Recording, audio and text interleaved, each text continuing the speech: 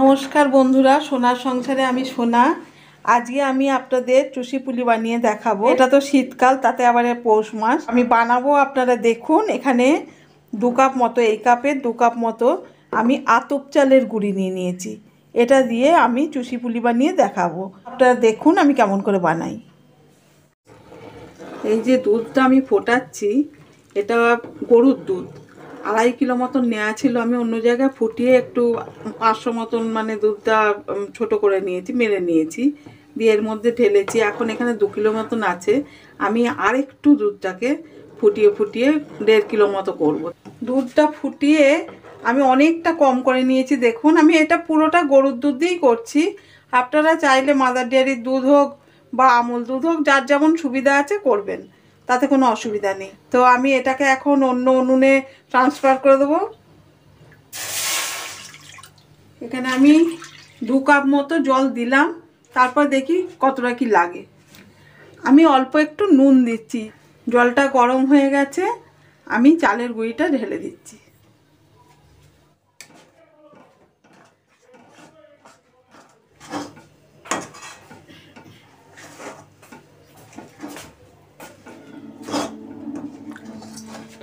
আর একটু জল লাগবে, আমি এর মধ্যে যেহেতু এটা গরম উনুনে বসানো আছে, আমি কাঁচা জলটাই দিচ্ছি।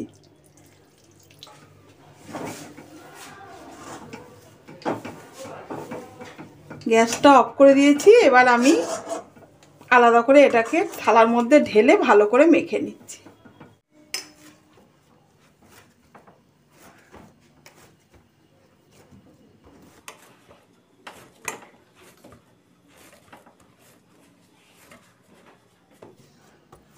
খুব গরম এটা। আর এটা গরম অবস্থাতেই মাখতে হবে। ঠান্ডা হলে ঠিক হবে না, চ্যাটচ্যাটে ভাবটা আসবে না। আমি এটা মেখে নিই আর একটু। এটা সুন্দরভাবে মাখা হয়ে গেছে। এবার চুষি পুলি পাকাবো। তার আগে আমি এটাতে একটা ভিজে ন্যাকড়া চাপা দেবো, নাহলে ওপরটা শুকিয়ে যাবে।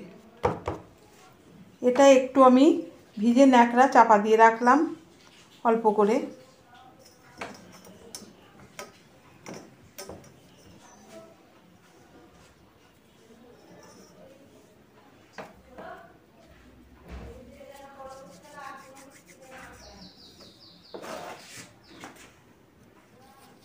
এতে কোনো পুর দেব না।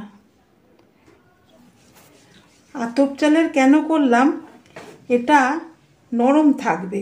ওই জন্যই আমি আতপ চালেরটা করলাম। সেদ্ধ চালেতেও হয়। তবে সেদ্ধ চালেরটা অনেক সময় ঠান্ডা হয়ে গেলে শক্ত হয়ে যায়।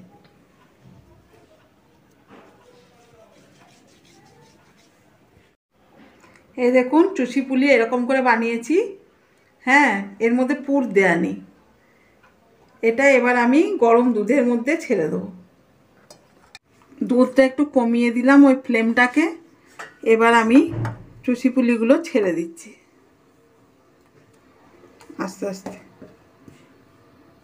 এগুলো আমি আস্তে আস্তে ছেড়ে দিই।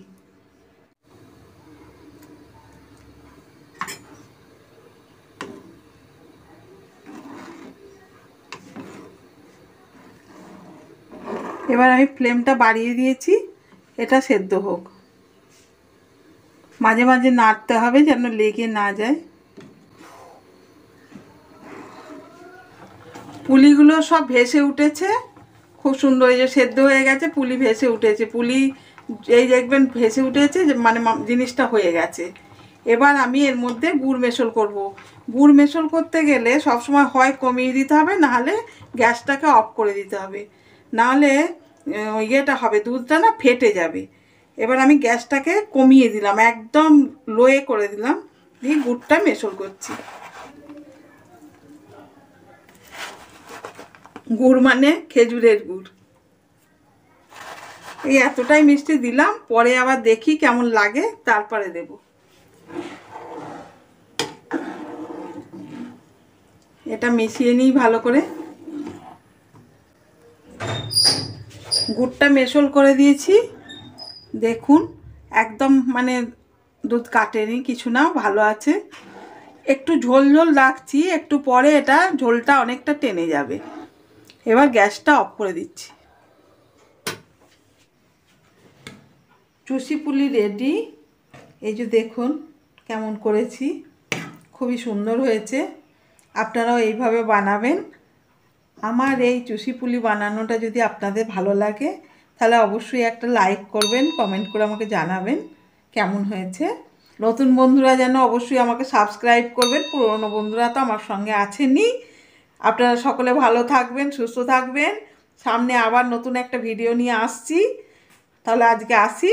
নমস্কার।